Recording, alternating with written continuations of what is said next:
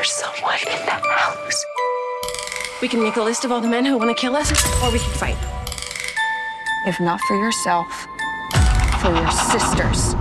十二月十二日，聖誕大凶日。